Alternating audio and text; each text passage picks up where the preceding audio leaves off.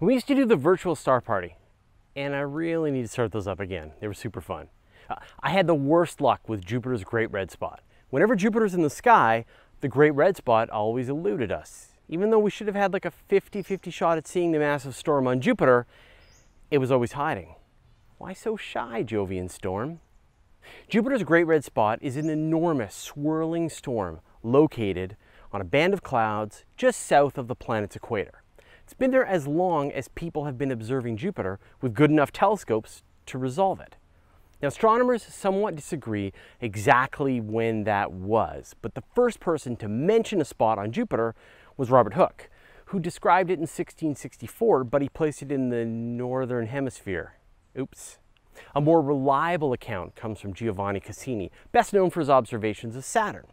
He observed a permanent spot in roughly the same location from 1665 to 1713. The strange part is that astronomers lost track of it until 1830, when the modern spot we know today was clearly evident.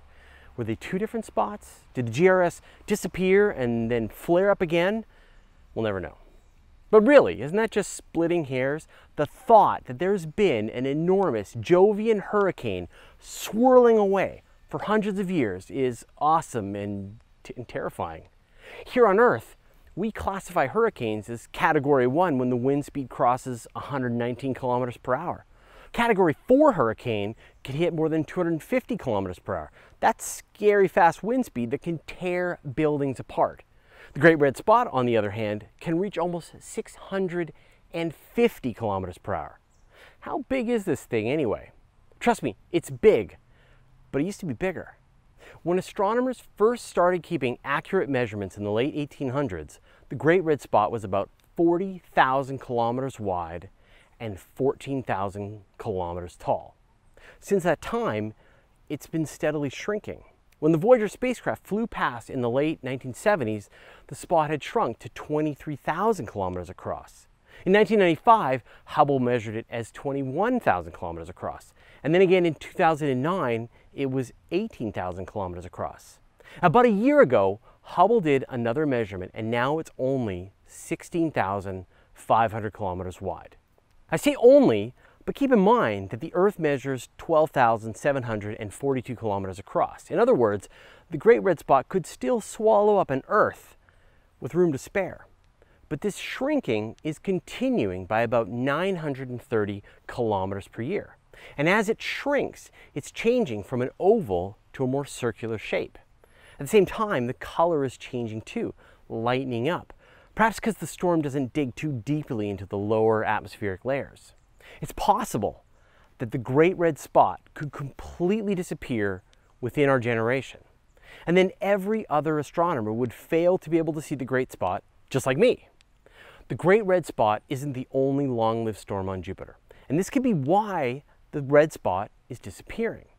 If you look at images of Jupiter from Hubble, you can see other cyclonic storms, the biggest of which is known as Oval BA, or Red Spot Junior.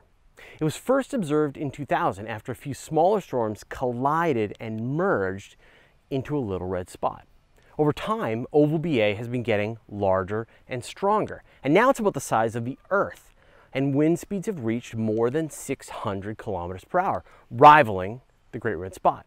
Because the bands on Jupiter alternate in direction, astronomers think that the storms on the nearby bands are sapping the strength of the Great Red Spot, and perhaps they're boosting Oval BA. There would be a time when the two spots are roughly the same size. And if the Great Red Spot finally disappears, Oval BA will be there to assume the mantle. Since these storms can clearly grow and shrink over hundreds of years, I wonder what some of the strangest configurations of storms have ever been. I guess future robot body Fraser will be the one to find out. Good news, the time you're watching this, NASA's Juno spacecraft arrived at Jupiter on July 4th, 2016. For the first time in more than a decade, we have a dedicated spacecraft at Jupiter, mapping, probing, and analyzing the giant planet.